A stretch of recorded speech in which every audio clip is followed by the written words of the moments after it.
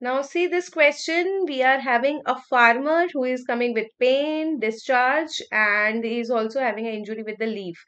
Now uh, they are giving you actually the history of the vegetative trauma whenever they are giving you history of vegetative trauma, it can lead to the fungal corneal ulcer or the fungal keratitis.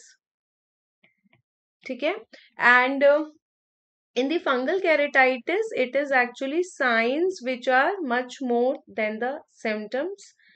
And uh, they have shown you one sign here. This sign is, uh, you can see hypopyon, where we have pus in the anterior chamber while hyphema, hyphema is the blood in the anterior chamber and um, this hyphema can occur due to the surgery or it can be due to trauma.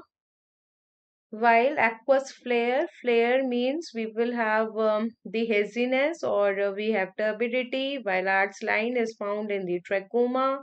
So it's very very clear cut. So answer is a hypopyon.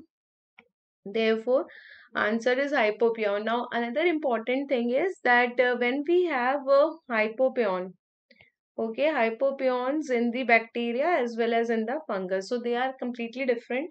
Bacterial hypopyons are um, always sterile as well as always mobile. While if I talk about the fungal hypopyons, these will be non-sterile as well as non-mobile non-sterile as well as non-mobile. Always remember about the hypopyons.